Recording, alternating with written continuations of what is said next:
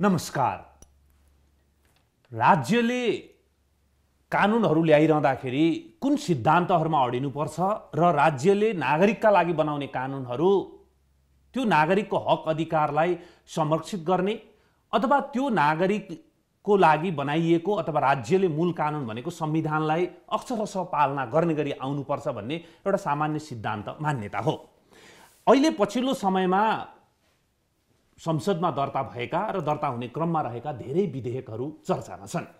त्यो मध्येको सबैभन्दा चर्चित विधेयक हो सूचना प्रविधि विधेयक यसै गरी मिडिया काउन्सिल विधेयक नेपाल विशेष सेवा विधेयक त्यसपछि राष्ट्रिय सुरक्षा परिषदको काम कर्तव्य अधिकार राष्ट्रिय मानव अधिकार आयोग विधेयक लगायतका धेरै विधेयक शान्ति सुरक्षा सम्बन्धी विधेयक पनि छ लगायतका धेरै विधेयकहरू छन् जुन संसदमा दर्ता भएको दिनदेखि त्यसको पक्ष विपक्षमा बहस चलिरहेको छ।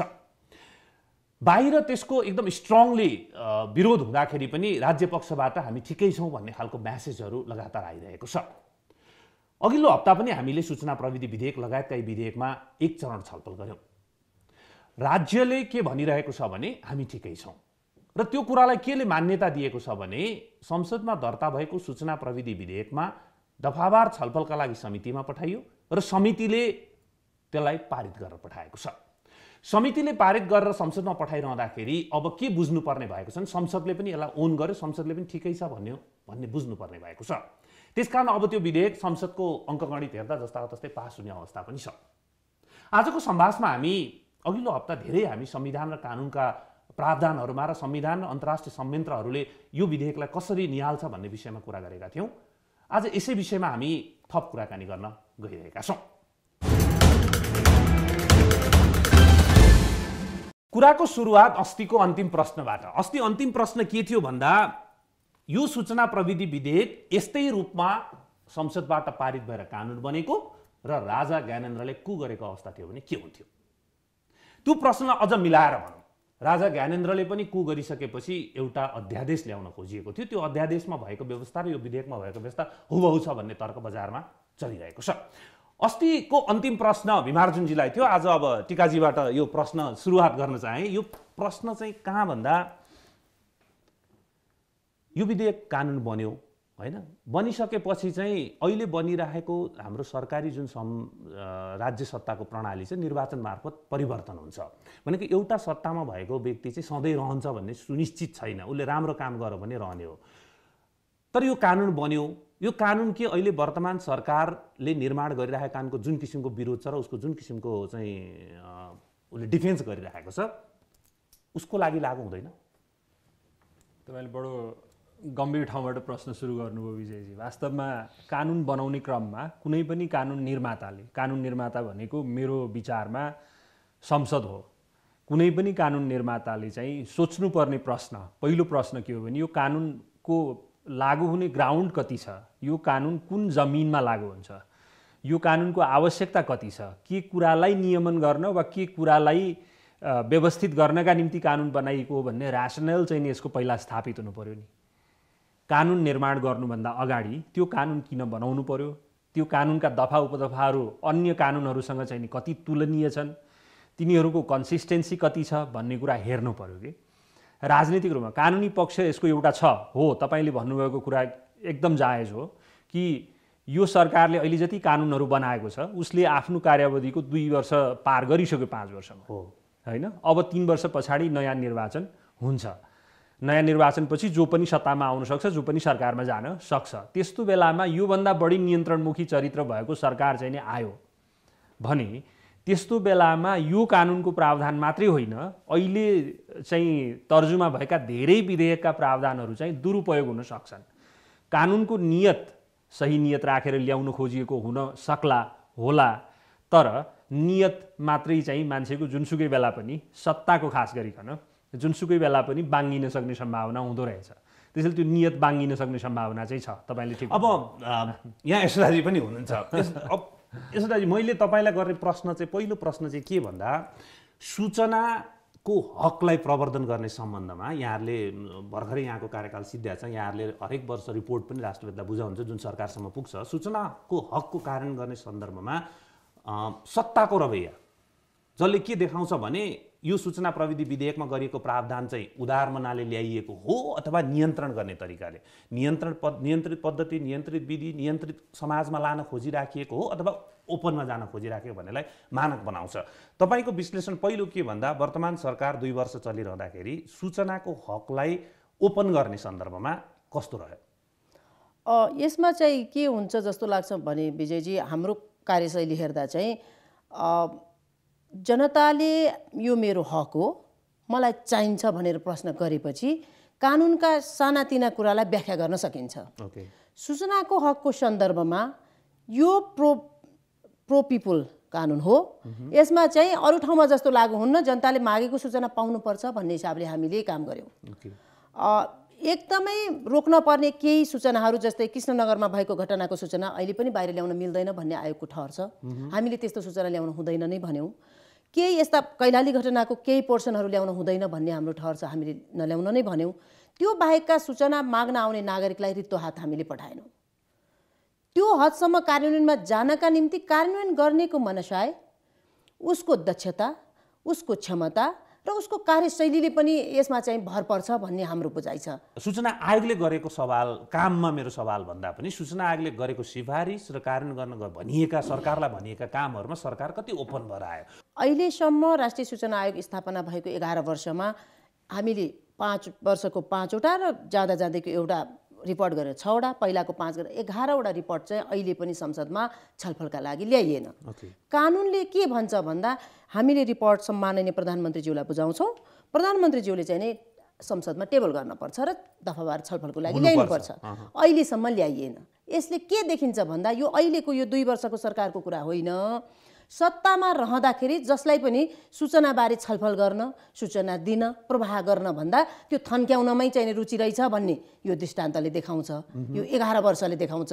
उहाँको कुरालाई लिउँ है जस्तै एघार वर्षमा हामीले रिपोर्टहरू बुझायौँ होइन? संसदमा टेबल भएर दफावार छलफल हुनुपर्नेमा कुनै पनि सरकारले त्यो इच्छा देखाएन त्यस कारण छलफल भएको छैन। भनेपछि हाम्रो अहिले ग्राउन्डमा रहेका राजनीतिक दलहरू जति छन् यी सबै त्यो यो एघार वर्षमा सरकारमा छन्। भने यी सबैको मान्यता के रहेछ भन्दा सङ्कुचित गर्नुपर्छ भन्ने खालको मान्यता देखिन्छ। अहिले सूचना प्रविधि विधेयक यो सरकारको पालामा आइरहेछ। अहिले मिडिया काउन्सिल विधेयक यो सरकारको पालामा आइरहेछ। तर यो सरकारभन्दाको अगाडिको सरकार र यो सरकार पछि आउने सरकार। भन्दा हाम्रो पोलिटिकल पार्टिजहरूको त्यो टेन्डेन्सी देखिएकोले सडकमा सशक्त आवाज उठाए पनि विपक्षीले संसदमा केही गर्न नसक्ने एउटा कारण अङ्कगणितको अर्को कारण उसको पनि टेन्डेन्सी त्यही हो कि भन्ने देखिन्छ। भनेपछि हामी पोलिटिकल्ली आन्दोलन गरेर के गरेर होइन राजा ज्ञानेन्द्रले यस्तै विधेयक ल्याउनु खोज्दा यी जम्मै दल मिलेर विरोध गरेर आउँ चाहिँ आयौँ। तर फेरि हामी किन यस्ता खालका विधेयकहरू चाहिँ टेबल गरेर अझ अहिले त डरलाग्दो कुरा के भन्दा अघि मैले भने समितिले छलफल गरेर पास गरिसकेको छ कि? अब संसदमा अङ्कगणितमा बहुमत छ। मजाले पास हुन्छ। भनेपछि त संसदले पनि ओन गरिसक्यो। यो अहिले जुन हामीले जुनमा गलत छ भने जस्तै यसको अदालत निर्माणको प्र उसमा क्वेसन छ होइन? अझ भीमार्जुनजीकोलाई कोड गर्ने हो त। प्रस्तावनादेखि पुजारसम्म काम छैन भन्नुहुन्छ। ल त्यसलाई पनि बिर्स्यौँ एकछिन। तर यसमा धेरै प्रश्नहरू छन्। पोलिटिकल्ली प्रश्नहरू छन्। भने यो किन हुन्छ? जुन राजनीतिक मान्यताहरूका निमित्त हामीले सङ्घर्ष गऱ्यौँ जुन राजनीतिक प्रस्थापनाका निमित्त हामीले सङ्घर्ष गऱ्यौँ नि ती प्रस्थापनाहरूलाई हामीले बिस्तारै बिस्तारै बिर्सिँदै आएका छौँ। अर्थात् सामान्य जनजीवनको भाषामा यसलाई भन्ने हो भने हामी हिँड्दैछ पाइला मेट्दैछको सिद्धान्तबाट अगाडि बढिराखेका देख्छौँ। त्यो कुनै सिद्धान्त आफैमा होइन तर त्यसलाई राजनीतिक दलहरूले आफ्नो एक प्रकारको चाहिँ नि कार्यशैली बनाएका छन्। म खालि यही गभर्मेन्टकै सन्दर्भको अलिकति कुरा तपाईँसँग गर्न चाहन्छु। जस्तो यो गभर्मेन्ट डेमोक्रेटिकल्ली इलेक्टेड गभर्मेन्ट हो नि तपाईँ हाम्रो नागरिक जीवनमा काम गर्ने मानिसहरूको अप्ठ्यारो हेर्नुहोस् होइन? डेमोक्रेटिकल्ली इलेक्टेड गभर्मेन्ट हो। यो इलेक्सनको लेजिटिमेसीमाथि कहीँ कतै प्रश्न छैन। इलेक्टेड गभर्मेन्टको एउटा डेमोक्रेटिक साइड हुन्छ कि? होइन? लोकतान्त्रिक चरित्र हुन्छ लोकतान्त्रिक पक्ष हुन्छ। त्यो लोकतान्त्रिक पक्ष चाहिँ प्रतिबिम्बित हुनुपर्ने हो आम जीवनमा। हो। त्यो किन प्रतिबिम्बित भइरहेको छैन त? त्यो प्रतिबिम्बित नहुनुको प्रमुख कारण भनेको यिनै विधेयकहरू छन् जसले गर्दा यो गभर्मेन्टको अथोरिटारियन साइड चाहिँ नि ज्यादा प्रोजेक्सन भइराखेको म देख्दछु। यो चिन्ताको विषय हो। जबकि इलेक्टेड गभर्मेन्ट हाम्रो चाहिँ यत्रो लामो सङ्घर्ष गरेको प्रधानमन्त्री उहाँले उहाँको नाममा उहाँको नेतृत्वमा आएको यो चाहिँ बहुमत त्यो चाहिँ रिफ्लेक्सन हुनु पर्थ्यो त्यो साइड रिफ्लेक्सन हुनु पर्थ्यो। अथवा जनतासँग अन्तर्क्रिया गर्न चाहने नागरिकसँग अन्तर्क्रिया गर्न चाहने समाजसँग अन्तर्क्रिया गर्न चाहने त्यो पक्ष चाहिँ ओझेलमा पर्न गयो यी सब कारणले गर्दाखेरि। यो एउटा एउटा राजनीतिक पक्ष भयो। योसँग जोडिएको अर्को राजनीतिक पक्ष चाहिँ सँगसँगै के भयो भने सत्ताको चरित्र भनेको जहिले पनि नियन्त्रणमुखी हुन्छ होइन? त्यो चाहिँ फेरि नेपालको सन्दर्भमा मात्रै होइन। विश्वव्यापी रूपमा राजनीतिक शास्त्रले मानिआएको के हो भने पावर त करप्ट हुन्छ। कुनै पनि ठाउँमा पुगिसकेपछि जुनसुकै जुनसुकै व्यवस्थामा पनि. त्यसो भएको हुनाले हामीलाई चेक्स एन्ड ब्यालेन्स चाहिने हो। र त्यो चेक्स एन्ड ब्यालेन्स भनेको संविधानले व्यवस्था गरेको पद्धति छ प्रणाली छ। त्यो चेक्स एन्ड ब्यालेन्सको एउटा प्रणाली भयो जस्तो हामीसँग कार्यपालिका व्यवस्थापिका न्यायपालिकाको चाहिँ व्यवस्था भयो। तर त्यो मात्रै आफैमा त्यो कन्स्टिट्युसनल फ्रेमवर्क आफैमा चेक्स एन्ड ब्यालेन्स त्यो मात्रै पर्याप्त छैन। त्यो सँगसँगै नागरिक जीवन राष्ट्रिय राजनीतिमा सहभागी हुन चाहने नागरिक जीवनले पनि चेक्स एन्ड ब्यालेन्सको काम गर्नुपर्छ भनिएको हो। त्यसैले अघि तपाईँले भन्नुभएको जस्तो सडकबाट आवाज उठाउने त्यो सधैँ विरोधको रूपमा मात्रै अभिव्यक्त हुन्छ भन्ने होइन। त्यो कन्स्ट्रक्टिभ इन्गेजमेन्टको माध्यमबाट चाहिँ व्यक्त हुन्छ सुझावका माध्यमबाट व्यक्त हुन्छ इन्ट्रेस्ट ग्रुपका माध्यमबाट व्यक्त हुन्छ। मलाई लाग्छ अहिले जुन भाइब्रेन्ट तरिकाले चाहिँ यी विधेयकहरूमाथि बाहिरबाट प्रश्न उठेको छ त्यो प्रश्न संसदमा छिर्नुपर्छ अब त्यो बेला भयो। संसदमा सत्तापक्ष प्रतिपक्ष। दुवैले चाहिँ नि त्यो भाइब्रेन्ट डिबेटलाई समाजमा भएको डिस्कसनलाई नागरिक जीवनमा पुग्न चाहिँ रिफ्लेक्ट भइराखेको जुन चाहिँ हाम्रो बाधे बाधे जायते तत्त्वबोधको जुन चाहिँ एउटा भावना छ त्यो संसदमा कुनै न कुनै ढङ्गले रिफ्लेक्ट हुन्छ त्यो त यहाँनिर मेरो सवाल के भन्दाखेरि चाहिँ अब संसद भनेको संसदीय समिति पनि हो मिनी संसद सानो संसद। त्यहाँ पनि पक्ष विपक्ष बहुमत अल्पमत गरेर विधेयक पास भएर फुल हाउसमा जान्छ। त्यसले के गर्यो भन्दा पास गरेर पठायो। अहिलेको अहिले तपाईँ हामीले डिस्कस गरिरहँदाखेरि चाहिँ सूचना प्रविधि विधेयकमा त्यो समितिले पारित गरेपछिको गलत प्रावधानहरूमा हामी डिस्कस गरिरहेका छौँ होइन? अब अब पक्नु है। अब त्यस पछाडि त्यो मिनी संसदले ओन गर्नु भनेको मैले सुरुदेखि भन्दा संसदले ओन गरिसक्यो यो प्रावधान ठिकै छ भनेर। अब त्योभन्दा डरलाग्दो पक्ष के छ भन्दाखेरि संसदमा बहुमत छ। अङ्कगणित मात्रै ले पास हुने हो नि त लास्टमा त। अल्पमत बहुमतमा जाने भन्दा यो विधेयक कुनै पनि हिसाबले चाहिँ रोकिने स्थितिमा छैन सिधै पास हुने अवस्थामा छ। हाम्रो हाम्रो अहिलेको संसदीय गणितले एउटा। अर्को अघि तपाईँले भन्नुभएकोमा जोडेर यहीसँग जोडेर चेक एन्ड ब्यालेन्सको जुन कुरा हामी गरिरहेका छौँ यो प्रणालीलाई सबभन्दा ठुलो चेक एन्ड ब्यालेन्स भनेको कार्यपालिका न्यायपालिका व्यवस्थापिका हो। तर हामीले के गरेका छौँ भने संसद पूर्ण रूपमा कार्यपालिकाको नियन्त्रणमा छ। किन भन्दा जुन पार्टीको सरकार छ त्यो पार्टीको त्यहाँ स्पष्ट बहुमत छ। त्यसपछि हामीले न्यायपालिकालाई कसो गरिरहेछौँ भन्ने दृष्टान्तहरू म यहाँ अहिले धेरै दिन चाहन्न। हामीले न्यायपालिकाको नियुक्ति कसो गरेर भने त्यो सन्तुलनै हामीले खलबलाइसक्यौँ संविधानमा चाहिँ लेख्यौँ कार्यपालिका व्यवस्थापन न्यायपालिका मन्टेस्क्यूको थ्योरीलाई हाल्यौँ। तर त्यसलाई ओन गर्न म कार्यपालिका भएर के चाहिरहेको छैन भने मलाई न्यायपालिका र व्यवस्थापिकाले चेक गरोस् भन्ने म चाहेकै छैन। र मैले त्यसै गरी इस्टाब्लिस गरेँ। भने मेरो प्रश्न कहाँ भन्दा यो विधेयक छोडिदिउँ ल पास हुन्छ अङ्कगणितमा जाओस् होइन? किनभने बहुमत छ। तर यसले राजनीतिक प्रणालीमा कहाँ असर गर्छ? पहिलो कुरा त मैले अघि सुरुमा भनेको कतिको तपाईँले याद गर्नुभएको छ फेरि दोहोऱ्याउँछु। यो कानुन आवश्यक थियो कि थिएन भन्ने ऱ्यासनल के हो भन्ने बारेमा यो कानुन जहाँबाट ड्राफ्ट भएर आयो त्यहाँबाट अहिलेसम्म भनिएको छैन। खालि के भनिएको छ भन्दा केही केही चाहिँ चाहिने कुराहरू पनि म देख्छु यहाँभित्र। जस्तो डिजिटल सिग्नेचरको प्रावधान भयो त्यसपछि चाहिँ नि डिजिटल कारोबारको प्रावधान भयो यी विषयहरूलाई नियमन गर्न आवश्यक। थियो। किनभने समाज पेपरलेस हुँदैछ। हाम्रा ट्रान्ज्याक्सन्सहरू फाइनेन्सियल ट्रान्ज्याक्सन्सहरू पेपरलेस हुँदैछन् डिजिटाइज हुँदैछन्। त्यसो भएको हुनाले तिनीहरूलाई नियमन गर्न आवश्यक थियो। तर त्यो सँगसँगै त्यहाँनिर सामाजिक सञ्जाल भन्ने एउटा च्याप्टर छ अनि त्यसपछि दण्ड सजायको जुन प्रावधान छ त्यहाँ पुगिसकेपछि चाहिँ हामी धेरै इन्कन्सिस्टेन्ट प्रावधानहरू पाउँछौँ। एउटा संविधानसँग इन्कन्सिस्टेन्ट हुने प्रावधान छ। त्यो भनेको चाहिँ अभिव्यक्ति स्वतन्त्रतालाई एक तहसम्म अङ्कुश लगाउन खोजेकै देखिन्छ नियन्त्रण गर्न खोजेकै देखिन्छ डिसिप्लिनेरियन सोसाइटीको परिकल्पना गर्न खोजे जस्तो देखिन्छ। र त्यसका पनि फेरि केही सैद्धान्तिक मान्यताहरू छन् त्योसँग जोडिएका जसको बारेमा पछि हामी मौका मिलेर कुरा गरौँला। यहाँनिर त्यो देखिन्छ एउटा संविधानसँग इन्कन्सिस्टेन्ट हुने प्रावधान जस्तो। संविधानमा एउटै मात्रै कुरा के छ भन्दा प्रेस स्वतन्त्रताको सन्दर्भमा पूर्ण प्रेस स्वतन्त्रता भनिएको छ। त्यसको अर्थ त्यो अपूर्ण पनि हुन सक्ने रहेछ। त्यसो भएको हुनाले पूर्ण भन्ने अर्थ होला। भलै त्यो आवश्यक थियो कि थिएन त्यसका बारेमा अर्को विवाद हुनसक्छ त्यस्तै अभिव्यक्तिको स्वतन्त्रता पनि जेनरली अनब्रिडल्ड हुन्छ। जुनसुकै पार्लिमेन्टेरियन डेमोक्रेसीमा अभिव्यक्ति स्वतन्त्रता कार्यपालिकामाथि प्रश्न उठाउने नागरिकको अधिकारलाई तपाईँ कुनै माध्यमबाट पनि वर्जित गर्न पाउनुहुन्न चाहे त्यो सोसल मिडिया होस् चाहे प्रेस होस् चाहे तपाईँले पिसफुल्ली एसेम्बल भएर गर्ने विरोध होस् यो पाउनुहुन्न। एक। दोस्रो देवानी संहितासँगै भएका कतिपय सजायका प्रावधानहरूसँग इन्कन्सिस्टेन्ट हुने गरीका सजायका प्रावधानहरू छन्। भनाइको अर्थ के हो भने हाम्रो कानुन निर्माण गर्ने प्रक्रियामा आधारभूत रूपमा त्रुटिहरू देखिन्छन् कि? पहिलो त्रुटि भएका कानुनहरूको सँग चाहिँ नि अब बन्ने कानुनको कन्सिस्टेन्सी कसले जाँच गर्छ? एक। दोस्रो त्यो कानुनको ऱ्यासनल कसरी स्थापित गरिन्छ आम नागरिकलाई त्यो कसरी बुझाइएको छ त्यो छैन। तेस्रो त्यो विधेयकका प्रावधानहरूकै बारेमा चाहिँ व्यापक रूपमा समाजमा र संसदमा अघि भने जस्तो त्यहाँ छलफल हुने त्यहाँ प्रतिबिम्बित हुने वातावरण कहाँ छ अहिलेसम्म देखिएको छैन। संसदको भूमिका लार्जली सेरेमोनियल छ। व्यवस्था कार्यपालिकाले ड्राफ्ट गरेर लिएर आउँछ। मन्त्रालयले ड्राफ्ट गरेर लिएर आउँछ। अनि त्यसलाई संसदको समितिमा पेस गरिन्छ र अनि त्यसको डिफेन्ड गर्ने चाहिँ तरिकाले मात्रै सत्तापक्षीय सांसदहरू वा सत्तापक्षीय चाहिँ सांसदहरू प्रस्तुत हुने प्रतिपक्षले चाहिँ त्यसमा खालि प्रतिक्रिया मात्रै जनाउने यस्तो प्रकारको एउटा चाहिँ कर्मकाण्डी कानुन निर्माण प्रक्रिया छ। यसमै आधारभूत रूपमा परिवर्तन आउनुपर्छ। यसलाई जस्तै अब त यो जति पनि विधेयकको हामी कुरा गरेर सूचना प्रविधि विधेयक लगायत जति पनि विधेयक छन् यसले दुईवटा कुरा भनिराखेको छ। के भन्दा मे मेन स्ट्रिम मिडियालाई पनि कन्ट्रोल गर्न खोजिएको छ। मिडियामा चाहिँ जति पनि आलोचना हुन्छ त्यसलाई बन्द गर्न खोजिएको छ एउटा।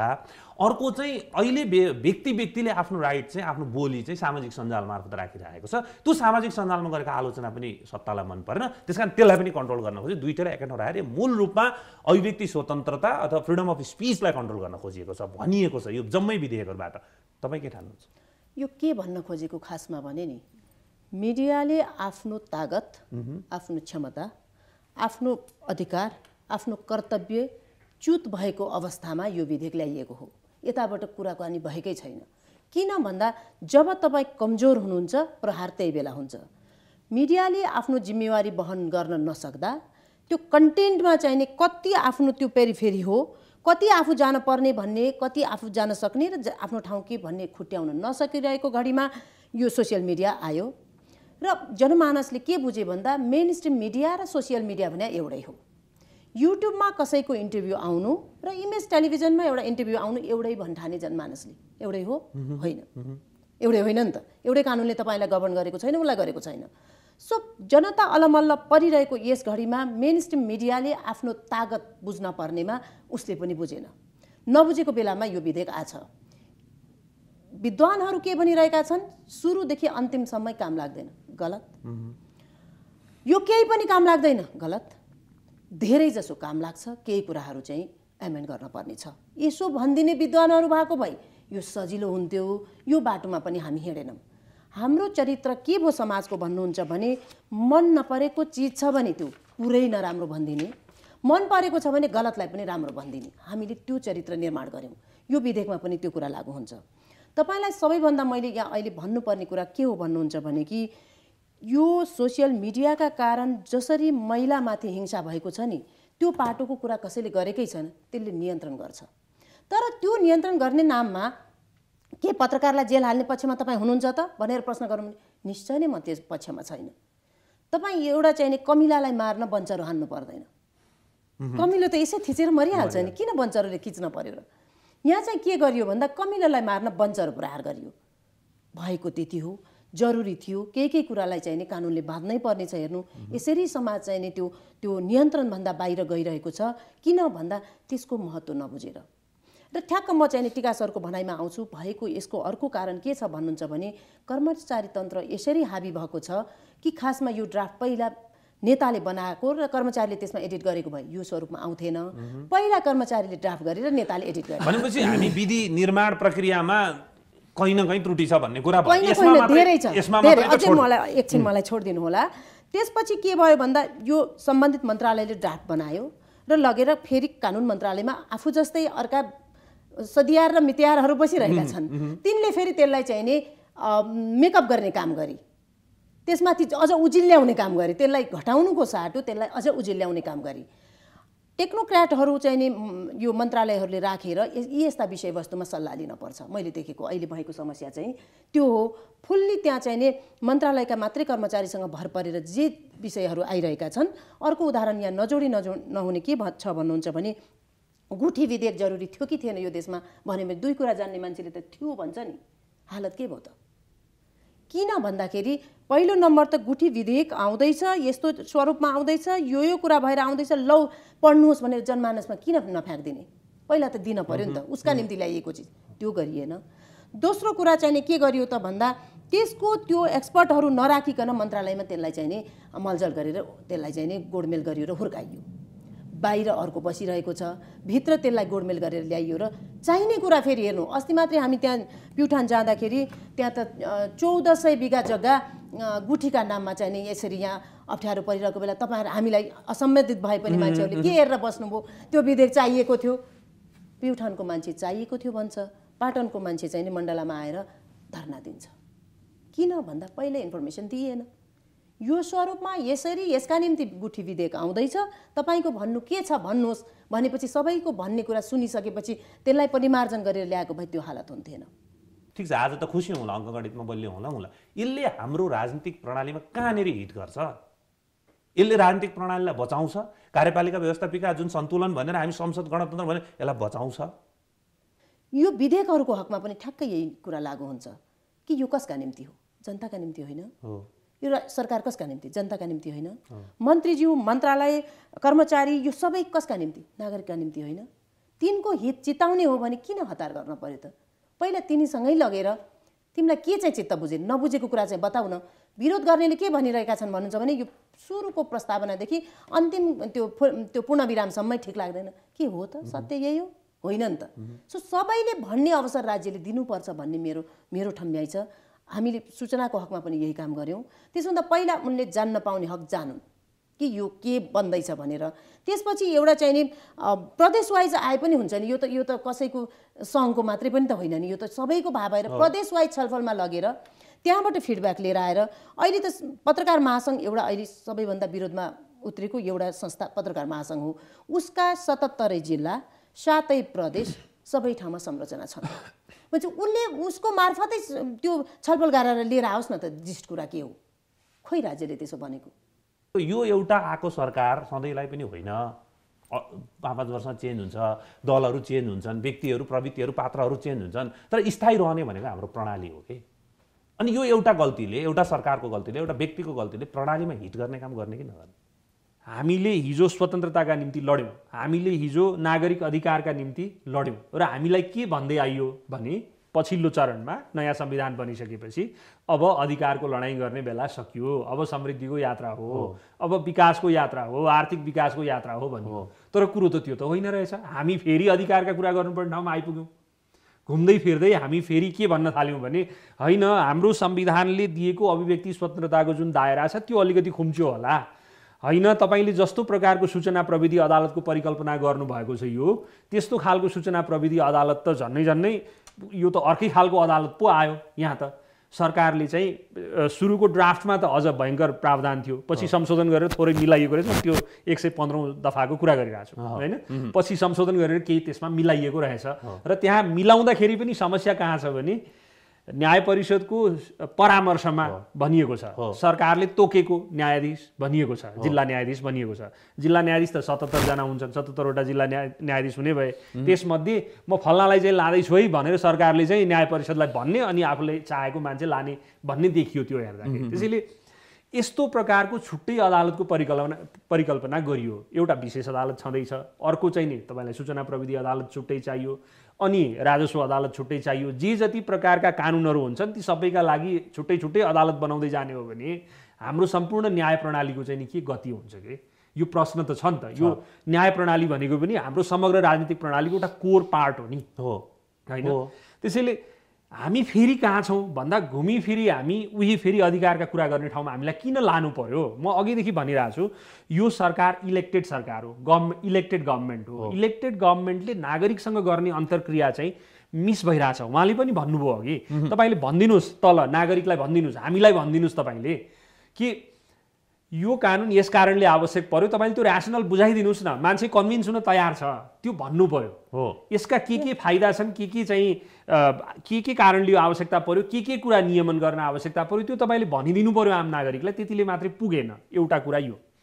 अर्को चाहिँ यो प्रणालीमाथि असर गर्ने कुरामा जस्तो नयाँ प्रकारको सरकार आयो अलिकति अझ योभन्दा कन्ट्रोलिङ टेन्डेन्सीको सरकार आयो अथवा अझ धेरै बहुमत पाएको सरकार आयो भने त झन् धेरै कन्ट्रोलिङ टेन्डेन्सीको हुँदो रहेछ। त्यस्तो खालको सरकार आयो भने उसले यो सूचना प्रविधि विधेयकमा भएको मात्रै होइन तपाईँले समग्रमा तिन चारवटा विधेयकलाई सँगै राखेर हेर्नुहोस्। एउटा त्यो विशेष सेवासँग सम्बन्धित चाहिँ विधेयक छ जसले इप्स ड्रपिङ लगायत अरू अरू विभिन्न कुरा इन्टरसेप्सन लगायतका कुराहरू चाहिँ गर्न सक्छ। त्योसँग तपाईँले सबै कुरालाई राखेर जोड दिनुभयो भने चाहिँ कहाँ कहाँ पुगिन्छ त भन्दा हामी झन्नै झन्नै एउटा छुट्टै प्रकारको चाहिँ राजनीतिक प्रणालीभित्र पुगिसकेको भान हुन्छ कि? त्यो त्यो कानुनका प्रावधानलाई सँगै राखेर हेर्दाखेरि। त्यही भएर मैले भनेको अघि तपाईँले एउटा कुरा भन्नुभयो नि जस्तै बहुमत प्राप्त सरकार आयो भनेदेखि अझ एब्सोल्युट मेजोरिटी अथवा दुई तिहाई झन्डै भएको सरकार आयो भनेदेखि चाहिँ झन् कन्ट्रोल मेकानिजममा अथवा आफ्नो आलोचना सुन्न सुन्ने कुराहरूमा चाहिँ ऊ बढी अझ अझ आउँदो रहेछ अगाडि यस्ता खालका भन्नु अहिलेको सरकार जुन छ विगत लामो समयदेखि नभएको एउटा पावरफुल सरकार छ कि? यो पावरफुल सरकार हुँदा उसले जे पनि कानुन पास गर्न सक्ने खालको टेन्डेन्सी लिएर यो खालको विधेयकमा आइराख् आइराख्दाखेरि हामीले फेरि पनि अधिकारको कुरामा जुन बोलिराख्नु परेको छ। मैले भने राज्य सत्ता किन त्यसो हुन्छ? जति पावरफुल भयो उति लचिलो हुनुपर्नेमा उति चाहिँ किन स्ट्रङ र रुड हुन्छ र ऊ कसैको पनि केही पनि आलोचनै सुन्न नचाहने स्थितिमा पुग्छ भन्ने कुरा हो। आलोचना सुन्न त अब नचाहेको पनि होइन होला आलोचना सुनेको होला तर त्यो आलोचनाको प्रत्युत्तर चाहिँ आलोचनाबाटै अथवा प्रत्यालोचनाबाट दिइराख्या हो कि होइन? के हो? अब त्यतापट्टि म जाँदिनँ।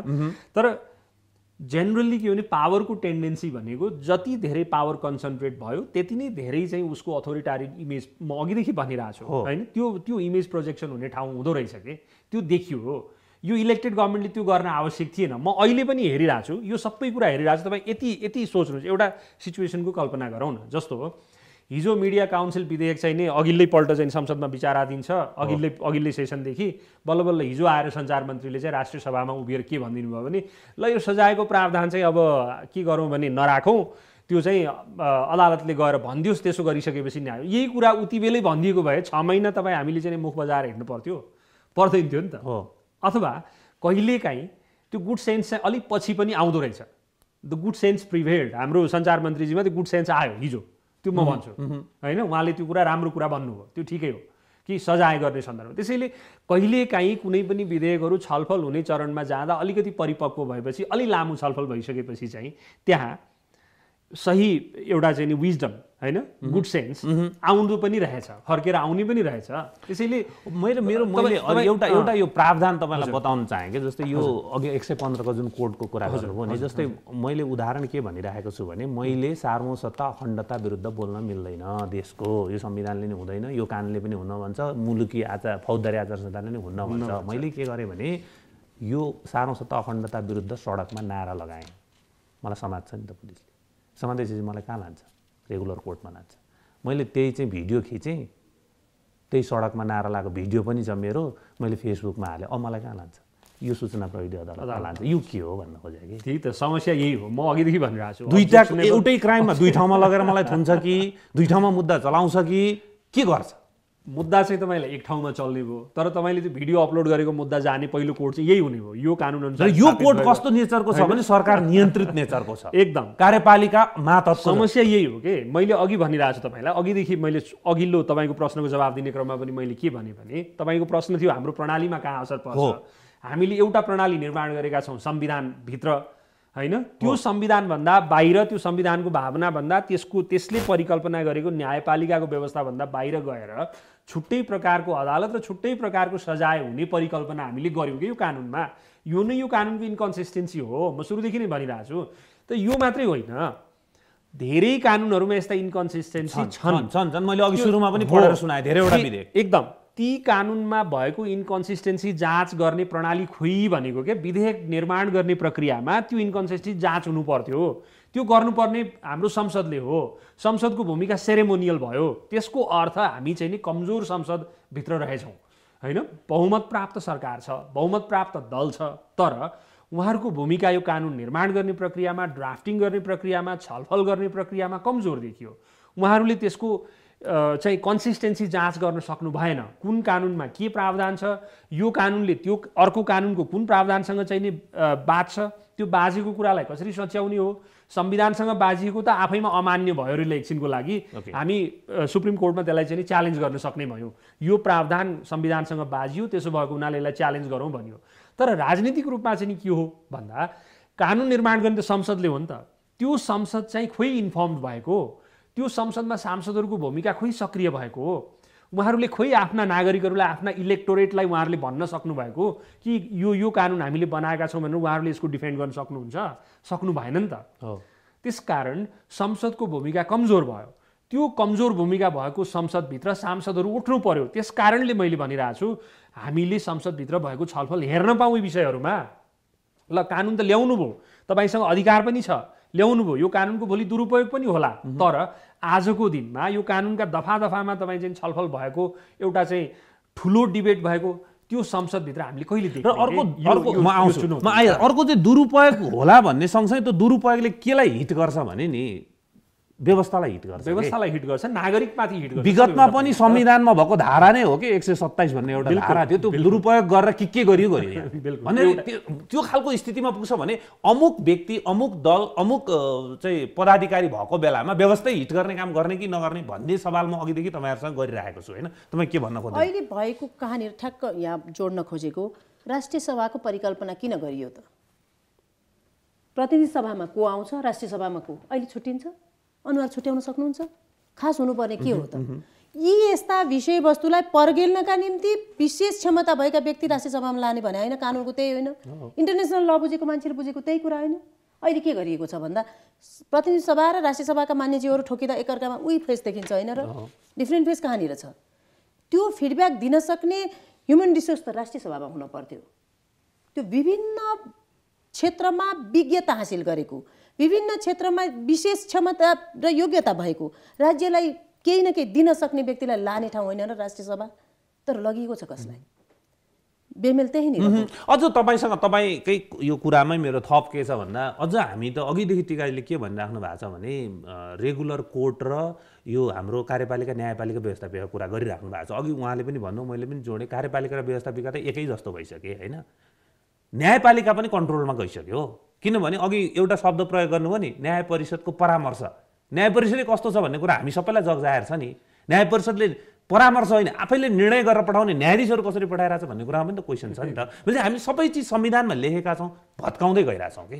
त्यो हिसाबले मैले यो प्रश्न गरिरहेको मेरो तपाईँसँग प्रश्न के भन्दा अब अहिले अर्को उठेको डिस्कोर्स के भन्दा अभिव्यक्ति स्वतन्त्र जुन प्री सेन्सरसिप पनि गर्न पाइँदैन त्यसमा कडा थुन्ने कानुन ल्याइयो भन्ने छ।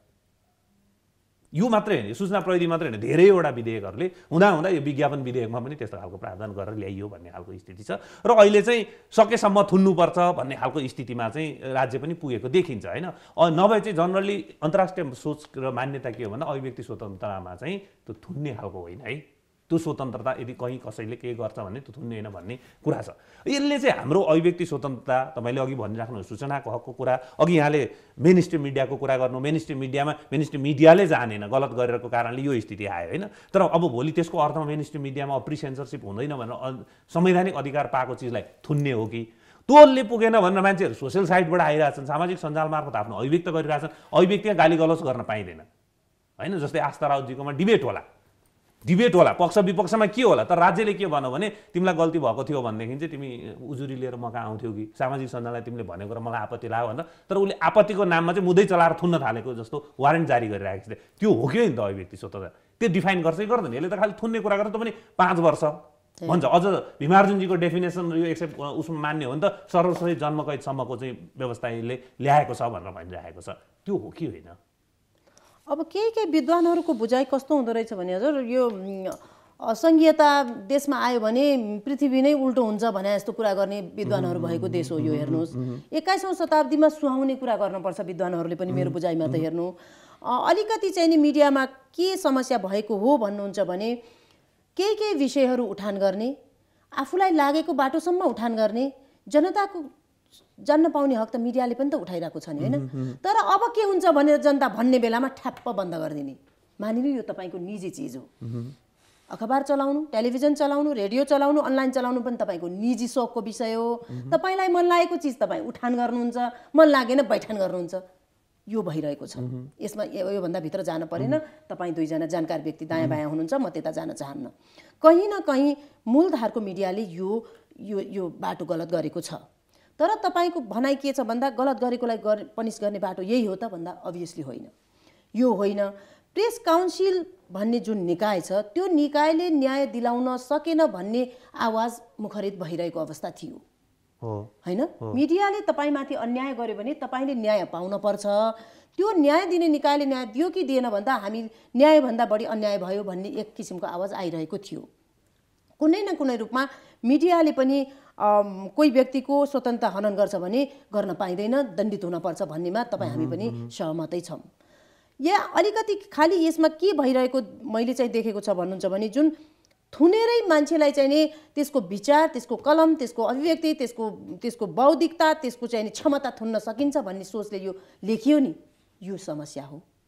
तपाईँ थुनेर पनि कोही लेखकलाई लेख थुन्न त सक्छ अथवा अझ यसलाई सजिलो गरी भनौँ जस्तो लाग्यो मलाई जस्तै अमुक मिडियाले गल्ती गर्यो होइन? अथवा सबै मिडियाले गल्ती गरे भन्दैमा संविधानको प्रावधान चाहिँ यिनीहरूलाई प्री सेन्सरसिप लाग्दैन भनेर दिएको चिज चाहिँ गलत रहेछ यी जम्मै गल्ती हुँदो रहेछन् भनेर खोज्न त मिल्दैन फेरि खोज्दा पनि हजुर मैले भने नि अहिलेलाई तपाईँ कलमको उहाँहरू फेरि कस्तो व्यक्तित्वहरूले यो यो कानुन निर्माण गर्नुभएको छ भन्दा जसले जेलमा कलम पाउनु भएन मसी पाउनु भएन यो कागजको टुक्रो पाउनु भएन चुरोटको खोलमा लेखेर उहाँहरू आउनुभएको छ। हो। लुकाएर लगिएका पेन्सिलका टुक्राले लेखेर आउनुभएको छ। भनेपछि त्यहाँ पनि उहाँहरू बन्द त हुनु भएन त। त्यो बेलामा पनि यो त अब कल्पना पनि गर्न सकिन्न। भनेपछि कसैलाई जेल हाल्दैमा त्यसलाई रोक्न सकिने कुरै होइन। खालि यसको प्रावधानहरू अघि अस्ति अघि टिकाजीले भने जस्तै अब फेरि मान्य सञ्चार मन्त्रीज्यूले चाहिँ नि अर्कोचोटि के भन्नु होला भन्ने आशा छ भने यो यो पाँच वर्ष जेल राख्ने यी कुराहरू चाहिँ यसलाई चाहिँ घटाइन्छ यो राखिन्न यसरी मान्छेलाई जेलमा राखेर यो समस्या समाधान हुन्न सजायको प्रावधानहरू बढी भयो होला यो घटाइन्छ भनेर त उहाँले भनिसक्नुभयो अब अझै यो अझै अझै ओरा आउनुहुन्छ भन्ने आशा छ मलाई किन भन्दा यसरी यो कहीँ पुगिने होइन। तर केही केही कुरा चाहिँ यो देशमा कानुन बनाएर स्ट्रिक्टली लागू गर्नुपर्ने अवस्था छ त्यो हामीले स्वीकार्नुपर्छ कानुन बनाउने। त्यसलाई कार्यान्वयन नगर्ने। कानुन भनेका यस्तै त हुन् नि भन्ने जुन बुझाइ छ र हामी गलत बाटोमा हिँड्छौँ नि। अर्को चाहिँ विदिन द पार्टी पनि मैले योभन्दा बढी हुन्छ कि क्या हो? गए आए यो गएका बिस वर्ष यताकै म क्षयकरण देख्छु। यो अध्ययन अनुसन्धान विश्लेषण यो कानुन बनाउने मामलामा हामी बिस वर्ष यता नै क्षयकरणको बाटोमा छौँ भन्ने मलाई लाग्छ। त्यसकै परिणाम हो? त्यो फल त्यतिखेर देखिन्छ। र। म तपाईँ यो बिरुवालाई कहाँ लैजान्छु भन्दा यो हाम्रो शिक्षामा दोष छ।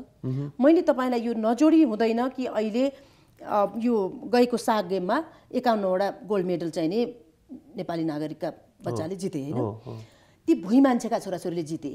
किन यो नजोडी नहुने कुरा छ भन्नुहुन्छ भने माथिल्लो तहका मन्त्रीका कर्मचारीका न्यायाधीशका आयुक्तका ठुला ठुला पत्रकारका छोराछोरी त देशमा छन् र जित्नु त। ती त सब विदेशमा छन्। अनि भुइँ मान्छेका छोराछोरीले नजितेर कसले जित्छ त? मलाई कस्तो लाग्छ भन्नुहुन्छ भने यो एउटा अन्डा खानेले यो जिते। अलिकति उच्च पदस्थकाले त तिनवटा अन्डा खान्छन्। तिनवटा अन्डा खानेले यो खे- गेम खेलेको भए त सयवटा पदक आउँथ्यो यो देशमा। तिनका छोराछोरी यो देशमा बस्नै पर्दैन? बसेकै छैनन्। मलाई सक्न। किन बसेका छैनन् भन्नुहुन्छ भने हाम्रो शिक्षामै दोष छ। हामीले बाबु नानी यो देशमा तिमी हुर्केर बढेर यहीँ केही गर्नुपर्छ भनेर स्कुल पठाएकै छैनौँ। बाबु सक्छौ अमेरिका अस्ट्रेलिया जापान युरोप नसके खाडी भए पनि जानु है भनेर बच्चा हुर्काइरहेछौँ। अनि अनि अनि अनि भुइँ मान्छेका बच्चाले नजितेर कसको बच्चाले चाहिँ गोल्ड मेडल ल्याओस् त? जे हाम्रो शिक्षामा दोष छ त्यो शिक्षाको क्षयकरण गएका बिस वर्ष यता भइरहेको छ र त्यसका त्यसका अवयवहरू कहीँ कुन विधेयकमा कहीँ कुन विधेयकमा कहीँ कुन अभिव्यक्तिमा कहीँ कुन कार्यशैलीमा देखिरहेको छ र नजाने यो कहाँसम्म जान्छ कि यसलाई अन्त्य गर्नका निम्ति पहिला हामी शिक्षामा चाहिँ सुधारमा आउनै पर्छ र दोस्रो जहाँसम्म यसमा चाहिँ हाम्रो जुन भनाइ छ कि मलाई लाग्छ यो दण्डितको जुन प्रावधान छ नि त्यसलाई त नघटाइकन त त्यो त अब। हामी कठोर दण्ड दियो भने चाहिँ ठिक बल्ल त्यो मान्छे ठिक ठाउँमा आउँछ भन्ने मानसिकताबाट यो दण्ड सजाय जरिवाना लाखौँ लाख जरिवाना होइन सबै कानुनहरूमा चाहिँ त्यसरी बढाएर ल्याइएको छ। दण्डात्मक प्रणाली चाहिँ उहिले छोडेको हो कि विधिशास्त्रले? होइन? अहिले त सुधारात्मक हुँदै हुँदै कहाँ आइपुग्छ तर हामी अहिले आएर चाहिँ किन यो बढी दण्डात्मक प्रणालीमा चाहिँ पोलिटिकल्ली अझ बुझेका मान्छेहरूले लागिरहेको छ यो यो नै चिन्ताको विषय हो। तपाईँले जे प्रश्न अहिले गर्नुभयो नि यो नै चिन्ताको विषय हो। म अघिदेखि फेरि पनि भन्छु जस्तो यो इलेक्टेड गभर्मेन्ट भएको हुनाले यो गभर्मेन्टले जनतासँग चाहिँ नि संवाद गर्न सक्नु पर्थ्यो नागरिकसँग संवाद गर्न सक्नु पर्थ्यो यस्तो हुँदैछ यो नगरौँ भन्न सक्नु पर्थ्यो गभर्मेन्टको काम भनेको पनिसमेन्ट मात्रै होइन एजुकेटिभ पनि काम हो नि त। हो। मान्छेलाई अवेर गर्ने मान्छेलाई चाहिँ नि चेतनशील बनाउने मान्छेलाई चिन्तनशील बनाउने होइन? शिक्षामा उहाँले भन्नुभयो त्यो सुधार गर्ने यो सबै काम चाहिँ नि जन के अरे सरकारको काम हो। यो सँगसँगै ब्युरोक्रेटिक रिफर्म सेवा प्रवाह इत्यादि सारा काम हो र दण्ड चाहिँ लास्ट रिसोर्ट हो कि? हो। सबभन्दा अन्तिम अस्त्र सबभन्दा अन्तिम उपाय चाहिँ दण्ड हो। तर अब यो दण्डात्मक प्रावधान यत्र ठुल्ठुला चाहिँ नि दण्डात्मक प्रावधान नियन्त्रणमुखी प्रावधान राखेर कानुन अगाडि तेर्स्याइदिइसकेपछि चाहिँ तपाईँ हामी सबैले बारम्बार प्रश्न गर्नुपर्ने हुन्छ। एउटा एउटा उदाहरण तपाईँलाई जोड्छु कि? मलाई एकदम लाग्यो। भन्नु न। दण्डात्मक अब अहिले तपाईँको सडकमा गाडी कुदाउनुहोस् काठमाडौँको सडकमा ठाउँ ठाउँमा के लेखेर राखेको थाहा छ? लेन क्रस गरिस् भने दस हजार पन्ध्र हजार जरिवाना एक दिन क्लास भन्छ त्यो सचेत गराएको कि तर्साएको कि कठोर दण्ड छ भन्न खोजेको कि के भन्न खोजेको? भनेको कठोर दण्डात्मक प्रणालीको मानसिकतामा हामी बढिरहेका छौँ। त्यो मलाई जहाँसम्म लाग्छ त्यो कानुन छ मैले लेन क्रस गरेँ भने मलाई केही न केही जरिवाना हुन्छ सजाय हुन्छ रेड लाइट क्रस गर्ने हुन्छ भने त ज्ञान त छ नि ड्राइभ गर्नलाई तर उसलाई के लेखेर राखिदिरहेको पन्ध्र हजार। भने ऊ तर्सियोस्। भन्ने खालको यो यो कठोर दण्डात्मक प्रणाली के? तपाईँ कन्टिन्यू गर्दै हुन्थ्यो त्यो खालको टेन्डेन्सी त्यहाँ पनि देखियो भन्न खोजेँ कि मैले। तपाईँ तपाईँले भन्नुभएको ठिक यो कतिपय चाहिँ यो सिनेमामा देख्ने जस्ता कुरा चाहिँ नि देखिन्छ होइन बाटोमा हिँड्दाखेरि। त्यो त्यो कानुनमा भएको कुरा राखिएको हो कि त्यो चाहिँ क्वेसनेबल पनि हो। कुनै राम्रो चाहिँ नि पब्लिक इन्ट्रेस्ट लिटिगेसन लयरले चाहिँ त्यो अदालतमा लिएर गयो भनेदेखि चाहिँ ट्राफिक प्रहरी सुड बी एकाउन्टेबल त्यसो हुँदा त अब के लेखेर राख्नु पर्यो? होर्डिङ बोर्ड भने जान मार भने सर्वश्रेष्ठ जन्म कैद हुन्छ रेप गर्यो भने दस वर्षदेखि सजाय सबैतिर टाँसौँ न सडक यो यो मान्यता चाहिँ के भइरहेछ भने कठोर दण्ड गरेर समाज ठिक ट्र्याकमा ल्याउँछु भन्ने खालको मलाई लागिरहेको छ। म बेबी म रङ तपाईँसँग मैले त्यही भएर प्रश्न गरिरहेको छु। तपाईँले भन्नुभएको ठिकै हो। त्यो त्यो मानसिकता होला। त्यो मानसिकता चाहिँ नि सरकार सरकार भनेको खालि चाहिँ नि क्याबिनेट मन्त्रीको मात्रै म कुरा गरिरहेको छैन। सरकार भनेको सारा प्रणाली होइन? ब्युरोक्रेसी सहितको गभर्मेन्ट होइन? त्यो ब्युरोक्रेसी सहितको इस्टाब्लिसमेन्ट त्यो हो हाम्रो हाम्रो दृष्टिकोणमा सरकार भनेको होइन? त्यसैले त्यो सरकारभित्रको मानसिकता भनेको दण्डात्मक हो। दण्डात्मकै मानसिकता हो भन्ने त यो देखिन्छ नि त। यो पनि त बिचरा मन्त्रीले त किन बनाएको हुन्थ्यो कानुन? यो बनाएको त। ब्युरोक्राटले कसले बसेर बनायो? होइन? उहाँहरूले बनाउनु भयो। तर यो बन्नु पर्थ्यो कसरी भन्ने फेरि अर्कै कुरा छ। होइन? यसमा पनि म छोइहाल्छु कि तपाईँले भन्नुभयो हामी अन्तिम अन्तिमतिर आइपुग्यो भनेर। जस्तो यो प्रक्रियालाई सुधार गर्नका निमित्त यसले हाम्रो लोकतान्त्रिक प्रणालीले निर्माण गरेको आधारभूत चरित्रलाई यसले चाहिँ आक्रमण गर्छ। त्यो आधारभूत चरित्रलाई साँगुरो पार्छ। यसले नागरिक बहसको जुन चरित्र छ त्यसलाई चाहिँ नि साँगुरो पार्छ। तर यो सँगसँगै फेरि समाजमा दण्डनीय अपराधहरू छन् भने तिनीहरूलाई यतिकै छोड्नुपर्छ भन्ने पनि होइन। होइन त्यो त मान्यतै होइन। मान्यतै होइन। त्यसैले कहाँनिर चाहिँ नि कानुन जरुरत पर्यो के कुराका लागि कानुन जरुरत पर्यो भन्ने कुरा सरकारले पहिलो नागरिकलाई क्लियरली कम्युनिकेट गर्न सक्नु पर्यो। एक नम्बर। दोस्रो कुरा के हो भने अघि उहाँले भन्नुभयो राष्ट्रिय सभाले चाहिँ नि यसलाई केही गर्न सक्छ कि भनेर हाम्रो संविधानको व्यवस्था अनुसार के हो भने राष्ट्रिय सभाले विधेयकमा छलफल गर्न सक्छ तर राष्ट्रिय सभाले पठाएका सुझावलाई डिसाउन गर्ने राइट चाहिँ प्रतिनिधि सभासँग छ त्यसैले प्रतिनिधि सभा नै अन्तिम हो यसमा। र हाम्रोमा जुन कमिटी प्रणाली छ त्यो कमिटी प्रणाली संसदभित्रको कमिटी प्रणालीमा म ठुलो सुधारको आवश्यकता देख्छु। त्यसका लागि हामीले संविधान परिवर्तन गर्नु पर्दैन। संसदले आफ्नो कार्यविधि नियमावली लगायत कमिटी प्रणालीमा केही सुधार गरे हुन्छ। जस्तो संसारभरिका संविधानहरूले डेमोक्रेटिक राम्रो डेमोक्रेटिक प्रगति गरेका संविधानहरूले लोवर हाउसलाई अथवा प्रतिनिधि सभालाई प्रत्यक्ष निर्वाचित प्रतिनिधिहरू भएको संसदलाई त्यो अधिकार दिएका छन्। म दुईवटा तिनवटा उदाहरण दिन्छु छोटकरी। जस्तो जर्मनीमा चाहिँ नि तेइसवटा कमिटीहरू छन् तिनीहरू सबै डिपार्टमेन्टल कमिटी हुन्छन् एउटा चाहिँ विशेष समिति हुन्छ। अर्थात् कमिटी भनेको मन्त्रालयसँग सम्बद्ध हुन्छ। हाम्रो प्रणाली कस्तो छ भने हामी कहाँ पार्लियामेन्ट पार्लियामेन्ट्री कमिटीहरूले जुनसुकै कमिटीले जुनसुकै मन्त्रालयको जुनसुकै विषयलाई पनि कुरा गरिदिन सक्छ। हो। होइन? यो छरिएको छ। त्यसो हुनाले कमिटी प्रणाली व्यवस्थित हुनु पर्यो। कुन कमिटीले कुन कुन मन्त्रालयको काम हेर्ने भन्ने कुरा प्रष्ट हुनु पर्यो। र मलाई त के लाग्छ भने श्रीलङ्काको समेत अनुभव चाहिँ नि हेर्दाखेरि श्रीलङ्कामा पनि तपाईँले चाहिँ विधागत कमिटीहरू छन्। सेलेक्ट कमिटी भन्ने छ। लेजिस्लेटिभ कमिटिज भन्ने छ कमिटिज प्लुरल त्यहाँभित्र उसले विभिन्न उपसमितिहरू बनाउन सक्छ। त्यस्तै गरिकन त्यहाँभित्र चाहिँ नि सेक्टोरल ओभरसाइट कमिटिजहरू छन्। होइन? एउटा विशेष क्षेत्रको ओभरसाइट हेर्ने मेकानिजम सहितको कमिटी छ। त्यसले विभिन्न उपसमितिहरू बनाउन सक्छ र खास खास मन्त्रालयको जिम्मेवारी यो वर्ष तपाईँले हेर्नुहोस् है भनेर उसलाई दिन सक्छ। यसरी डेडिकेटेड चाहिँ नि के अरे कमिटिजहरू हामी कहाँ हुनु पर्यो? जसले यी विधेयकहरूलाई पल्टाइ ओल्टाइ हेर्न सक्छ। जसले चाहिँ नि बाहिर भएका एक्सपर्टहरूलाई बोलाउन सक्छ। जसले कानुन मात्रै होइन राजनीतिको आँखाबाट पनि विधेयकलाई हेर्नु पर्यो क्या पोलिटिकल आँखाबाटै हेर्नु पर्यो। कानुन मात्रै सबै कुरा होइन। कानुनभन्दा माथि चाहिँ राजनीति छ। त्यो राजनीतिले संस्कार निर्माण गर्छ त्यो राजनीतिले संरचना निर्माण गर्छ र ती संरचना चाहिँ कानुनले सञ्चालन गर्छन्। त्यसो भएको हुनाले राजनीतिक दृष्टिकोणबाटै हेर्नु पर्यो कानुनलाई कानुन निर्माण गर्ने प्रक्रियालाई। र अर्को मैले भन्दै थिएँ उदाहरणकै रूपमा युएस सिनेटमा बिसवटा कमिटीहरू छन्। ती सबै कमिटीहरूमा विभिन्न सब कमिटीहरू छन्। सयजना मात्रै एमपिज हुन्छन् त्यहाँ। हो। होइन? र कतिपय अवस्थामा एकजना पार्लिमेन्टेरियनले एउटा सिङ्गै कमिटीको चाहिँ जिम्मेवारी लिएर हुन्छ एकजना सेनेटरले। र उसलाई त्यस्तै प्रकारको चाहिँ नि अब इन्फ्रास्ट्रक्चर दिइएको हुन्छ त्यो छुट्टै हो। हाम्रो कति सामर्थ्य होला बेग्लै कुरा हो। तर पार्लियामेन्ट त पब्लिक सोभरिन्टी एक्सर्साइज हुने ठाउँ हो नि। हो। नागरिक सार्वभौम सत्ता अभ्यास हुने ठाउँ हो। त्यसो भएको हुनाले उसले पार्लियामेन्टले आफ्नो क्यापासिटी बढाउनका लागि सबै काम गर्न सक्छ। जति चाहिँ सब कमिटीहरू बनाउनु पर्यो यी विषयहरूलाई हेर्नका लागि बाहिरबाट चाहिँ ल्याउनु पर्यो मान्छेहरू। र अनि त्यस्तै गरिकन इन्डियन पार्लियामेन्टमा त्रिचालिसवटा कमिटीहरू छ त्यसमा चौबिसवटा त डिपार्टमेन्टल कमिटिजहरू छन् हेर्नुहोस्। उनीहरूले पनि डिपार्टमेन्टल एक्टिभिटिजहरू चाहिँ हेर्छन्। होइन? मैले जर्मनीको भने बेलायतको भने के अरे अमेरिकाको भने भारतको भने यी भए डेभलप डेमोक्रेसीका कुरा। तर हाम्रो जस्तै अलिक कमजोर कमिटी प्रणाली भएको कम्बोडिया पनि छ। कमजोर कमिटी प्रणाली छ छरसपटिएको छ। होइन? विषयहरू चाहिँ छरिएका छन्। कुनै खास कमिटीले कुनै खास चाहिँ विषय हेर्ने भन्ने छैन। मन लाग्यो भने एउटा चाहिँ नि कमिटी पब्लिक अफे के अरे स्टेट अफेयर्स कमिटी बसेर ल आज चाहिँ नि भूमि सुधार मन्त्रीलाई बोलाइदिने भन्ने निर्णय गरिदिन्छ। होइन? यो यो तरिका छ। भनेको हामीले कमिटी प्रणालीलाई व्यवस्थित बनाउनु पर्यो। कानुन निर्माणमा ती कमिटीहरूको अघि सुरुमै तपाईँले भन्नुभयो ती कमिटीहरूको चाहिँ सक्रिय सहभागिता हुनु पर्यो। त्यसो भयो भने हामी त्रुटिहरूलाई सुधार्दै सुधार्दै सुधार्दै जान सक्दछौँ। र हेल्दी हेल्दी ती कमिटीहरूबाट हेल्दी कुरा पनि आउनु पर्यो र गभर्मेन्ट तर्फबाट पनि यो हेल्दी हो भन्ने हिसाबले ओन गरेर आलोचनालाई सुनेर फेरि छलफलमा बसेर टुङ्ग्याउने हुनु पर्यो पहिलो प्रमुख कुरा त निर्वाचित सरकारले जनताकै कुरा सुन्नु पर्यो पर्यो। होइन? नागरिकका कुरा सुन्नु पर्यो। बाहिर यी बहसहरूमा भएका कुरा सुन्नु पर्यो सरकार।